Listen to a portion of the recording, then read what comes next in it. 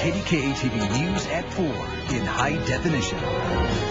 Congressman Pat Toomey campaigned in Pittsburgh today. The Republican Senate candidate met with medical device company officials, and he used that opportunity to attack his opponent, Democrat political editor Jon Delano was there, and Jon joins us live now with more. Jon, what happened? Well, Patrice, earlier this week, Democrat Joe Sestak launched into Republican Pat Toomey over at CMU. Well, today it was Toomey's chance to strike back, and he chose the technology park along 2nd Avenue to accuse his opponent of raising taxes on companies that produce high-tech jobs.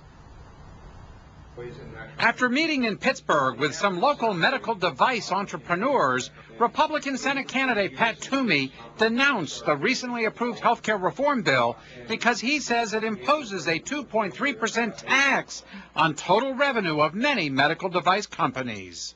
It's done, I think, in a way that's particularly um, dangerous because when you impose a tax on revenue without regard to whether the company is at a stage of being profitable, you can create serious problems for that company. Toomey says that Pennsylvania ranks fourth in the nation for jobs in this field.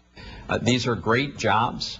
They're manufacturing jobs. They tend to pay uh, compensation that is uh, well above the average. And the Republican criticized his opponent, Democrat Joe Sestak, for voting for the health care reform bill with this tax. Joe Sestak not only voted for this bill, but he voted for a very extreme version. The Sestak campaign said it was Toomey who voted for a tax on medical devices back in 2002. Joe has now had a series of uh, completely untrue accusations that have been made up of whole cloth.